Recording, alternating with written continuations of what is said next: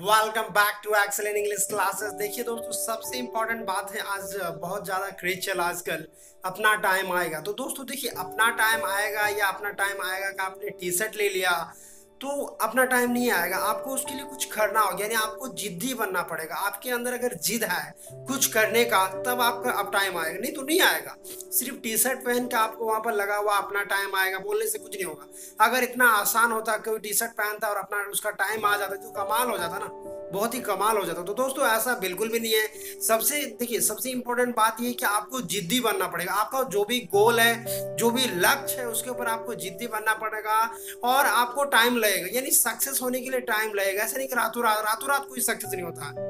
रातों रात कोई सक्सेस नहीं होता है। यानी आपको टाइम लगेगा। आप अगर किसी भी फ़ील्ड में सक्सेस होना चाहते हैं तो उसके लिए वक्त लगेगा।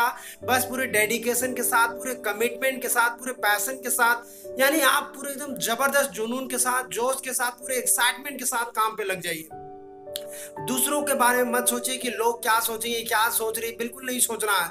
बस अपने लक्ष्य के बारे में सोचिए। भाई, मुझे चाहे जो भी हो जाए, अपना लक्ष्य को हासिल करना है। चाहे जो भी हो जाए, लक्ष्य को हर हाल में पाना। तो दोस्तों, अगर आप पाँच साल, दस साल दे देते आप जो भी गोल्स है, जो भी ड्रीम्स है गारंटीड अचीव होगा। लेकिन आपको जिद्दी बनना पड़ेगा।